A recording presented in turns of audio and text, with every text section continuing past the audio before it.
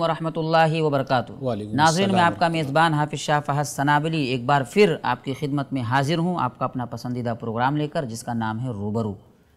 नाजरीन रूबरू के इस प्रोग्राम में आज हम आपके रूबरू हाजिर हैं अपने मेहमान शेख सनाउल्ला मदनी साहब के साथ। इन आज के इस प्रोग्राम में हम एक अहम सवाल आपकी खिदमत में पेश करने की कोशिश करेंगे। आइए हम शेख का इस्तबाल करते हैं। शेख आपका इस्तकबाल है अलहमदिल्ला आपने अपना कीमती वक्त दिया। शेख आज जो हम सवाल करना चाहते हैं आपसे वो सवाल है हजर असवद से मुतालिक हजर असवद जो जन्नती पत्थर है जी।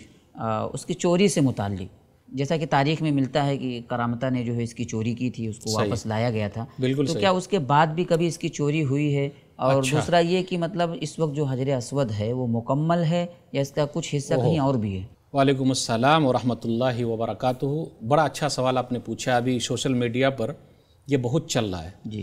और ख़ास तौर पे अरब के जो नौजवान हैं वो टैग कर रहे हैं कि हजर असवद के कुछ टुकड़े जो हैं वो तुर्की के अंदर मौजूद है।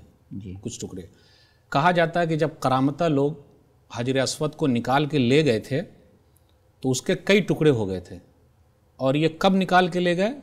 317 हिजरी में। अभी हम और आप चल रहे हैं चौदह सौ इकतालीस हिजरी। बाईस साल तक हजर असवद करामता के पास रहा। ये अबू ताहिर करामती एक शिया था और अपने आप को ये कहता था कि हमें अली रज़िल्ला तु से उनके ख़ानदान से बड़ी मोहब्बत है। तो मोहब्बत के नाम पर उसने ऐसा किया उन लोगों का इलाका जो था अभी जो मौजूदा बहरैन है वो इलाका था। ये मैं खुलासा बयान करना चाह रहा हूँ ताकि नाजरीन के लिए भी आसानी रहे। बिल्कुल बिल्कुल ज़रूर अलविदाया व नहाया जिल नंबर 11 सफ़ा नंबर एक सौ बिरासी एक सौ तिरासी में ये पूरे वाक़यात मौजूद हैं। ये तबा जो है तुरास है। तो एक खुलासा। तो 317 हिजरी में अबू ताहिर करामती मक्का आया। मक्का आने के बाद कहा जाता तीस हज़ार हाजियों को उसने कत्ल किया। जी। और वो भी हरम के अंदर मौका और मुनासिबत से। तो इससे ये पता चलता है कि तवाफ़ रुका भी है। जैसे आजकल कुछ लोगों ने सोशल मीडिया पर उड़ा दिया। मैं 2020 की बात कर रहा हूँ कोरोना वायरस की वजह से तवाफ रुका ये तो लोगों ने लोग कहा सवाल कर रहे हैं कि हाँ, कैसे तवाफ होगा। लोगों ने यह कहा तवाफ रुक गया तो क्यामत आ जाएगी। अब तो हो सकता है हज भी कैंसिल हो जाए कोरोना वायरस की वजह दुआ करेंगे ऐसा मसला ना हो। तो मैं जो बता रहा था 317 हिजरी में अबू ताहिर करामती निकाला हजर असवद को और ऊँटनी पर लाद कर बहरैन पहुँचा। 22 साल के बाद अब्बासी खलीफा मुख्तदिर बिल्ला 22 साल के बाद 339 हिजरी में वो वापस हुआ है। तो मुहद्दिस थे अब्दुल्लाह नाम करके वो गए लेने के लिए। तो जब लेने के लिए गए तो उनको नकली पत्थर दे दिया। तो कहा देखिए मैं असली पत्थर जानता हूँ। तो नकली पत्थर जब दिया तो उसको आग में रखा गया तो वो फट गया। पानी में रखा गया तो डूब गया। बोले हमारा असली पत्थर लाओ। तो असली जब हजर असवद लाया गया तो आग में फटा भी नहीं और पानी में डूबा भी नहीं। तो वहाँ से वो लेकर आए जिस ऊँटनी पर लादा गया बहुत तेज़ी के साथ वो मक्का पहुँच गई। तारीख़ मक्का के अंदर ये सब चीज़ें मिल जाएगी। तो एक मरतबा वो चोरी हुई है जो तारीख के अंदर बहुत मशहूर है तीन सौ सत्रह हिजरी में करामता वाली। तो 22 साल तक लोग नाजरीन के लिए भी है कि 22 साल तक लोग बगैर हजर असवद के तवाफ़ किए हैं। यानी 22 साल 22 तक साल तक वहाँ पर नहीं नहीं मौजूद था। तारीख के अंदर एक चीज़ और भी मिलती है 1571 ईस्वी आफ्टर क्राइस्ट 1571 ईस्वी। अभी हम और आप चल रहे हैं 2020 ईस्वी। तो 1571 ईस्वी। 450 साल हो गए साढ़े चार सौ साल हो गए। तुर्की लोग हजर असवद के छः टुकड़े निकाल कर अपने पास ले गए। हैं यानी पूरा नहीं।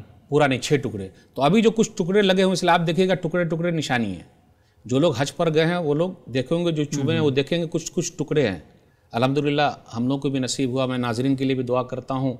अल्लाह ताला उनको भी नसीब। कर दे। आप भी बोलिए आमीन अल्लाह आपको भी नसीब फरमाए। हाफिज साहब आप गए हैं कि नहीं गए हज नहीं अभी तो मैं दुआ करता हूँ अल्लाह आपको हाजी बना दे ज़ोर से बोलिए आमीन अल्लाह नाजरीन को भी हाजी बना दे जिनको एक मरतबा अल्लाह ने बोला अल्लाह कई बार बुला ले। बोलिए आमीन। आमीन आमीन। तो 1571 ईस्वी में तुर्की लोग निकाल के उसको ले गए हैं छः टुकड़े को। अच्छा ये दोबारा अभी चोरी हुई है। अब इसको चोरी का नाम दीजिए वो लोग बोलते कि नहीं ये बरकत के तौर पर है। नहीं तो बरकत के तौर पर हाँ, लेकिन बरकत के तौर पर तो नबी सल्लल्लाहु अलैहि वसल्लम क्यों नहीं ले गए? नबी सल्लल्लाहु अलैहि वसल्लम मदीना ले जाते। साहब कराम अपने घरों को ले जाते। और सब अपने अपने यहाँ लेकर ले जाते बरकत के तौर पर। नहीं नहीं सारे लोग अगर शुरू कर दें अपने अपने यहाँ बरकत बचेगा तो बचेगा क्या? कुछ भी नहीं बचेगा। और हजर असवद की जगह जो है वो खान काबा का वो हिस्सा है जहाँ से तवाफ शुरू करते हैं।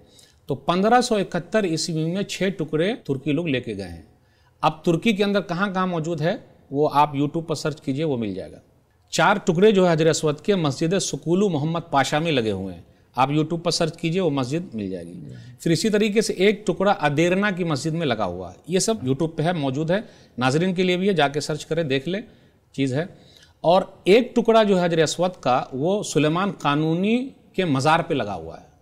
आप मुसलमानों से भी मैं कहता हूँ, नाजरीन से भी कहता हूँ, आप लोग भी उनसे रिक्वेस्ट कीजिए कि हजर असवद के जो छः टुकड़े आपके पास हैं, आप लोग भी रिक्वेस्ट कीजिए, नाजरीन तैयब उर्दुगान साहब से जो अभी तुर्की के सदर हैं कि वो कम से कम छः टुकड़ों को उसकी असली जगह यानी मक्का पहुँचा दे ताकि सब लोगों की मोहब्बत जो है वैसे ही रहे।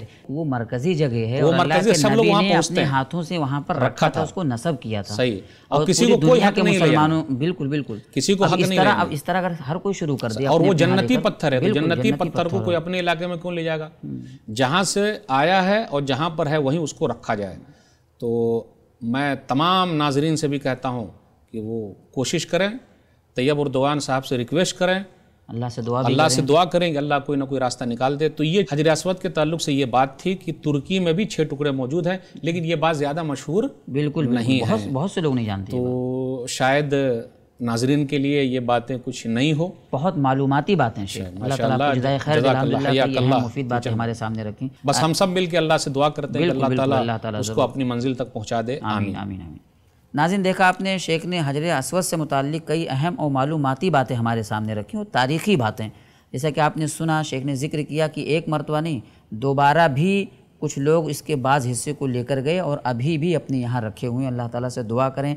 अल्लाह ताला इसके लिए कोई सबील, कोई रास्ता निकाले और अल्लाह ताला पूरी दुनिया के मुसलमानों को आपसी मोहब्बत के साथ ज़िंदगी गुजारने की तोफ़ी अता फरमा। नाजीन आप सभी का बहुत बहुत शुक्रिया। इन फिर आपसे मुलाकात होगी। असल वरहमल वर्का